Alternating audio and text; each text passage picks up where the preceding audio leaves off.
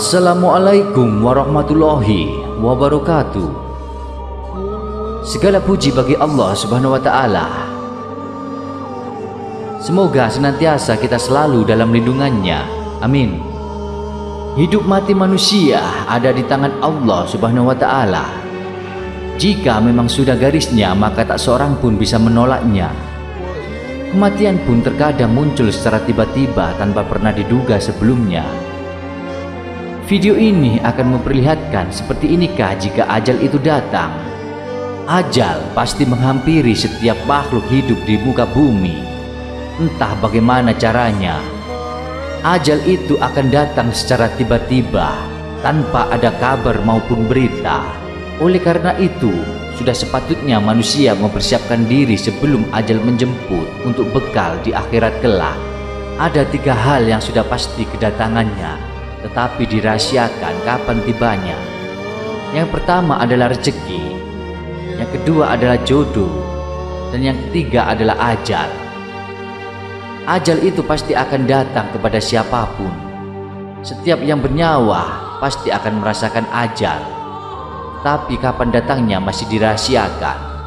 Jadi bisa saja ajal datang secara tiba-tiba. Apabila ajal itu datang besok, maka setiap manusia akan mulai mempersiapkannya. Jika ajal itu dirahasiakan, maka manusia sejatinya untuk terus-menerus bersiap. Andai kita tahu bahwa ajal kita dikasih tahu besok, maka pasti akan siap-siap. Tetapi semuanya dirahasiakan agar kita selalu bersiap-siap. Ajal datang tiba-tiba itu pasti diberikan Allah. Yang menjadi masalah, sudahkah siap kita menerima ajal itu? Dia menegaskan sebagai hamba Allah Subhanahu wa taala, manusia mempersiapkan kedatangan ajal itu. Sudahkah kita siap sedekah jariah? Yang kedua adalah ilmu yang sesuai. Sudahkah kita meningkatkan keluarga dan memberikan ilmu ke orang lain?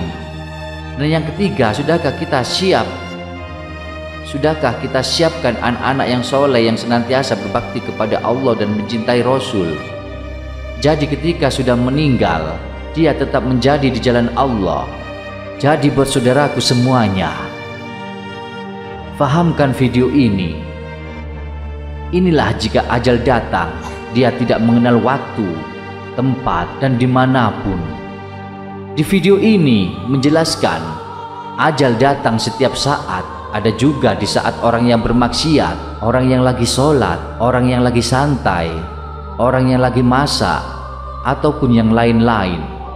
Jadi intinya, ajal itu datang secara tiba-tiba tidak ada orang yang tahu. Maka dari itu, siapkan diri kalian semuanya mulai dari sekarang. Supaya kelak nanti jika kita meninggal, kita meninggal dalam keadaan yang husnul khotimah. Semoga bermanfaat video ini. Seperti inikah ajal itu datang? Mungkin iya. Terima kasih. Wassalamualaikum warahmatullahi wabarakatuh.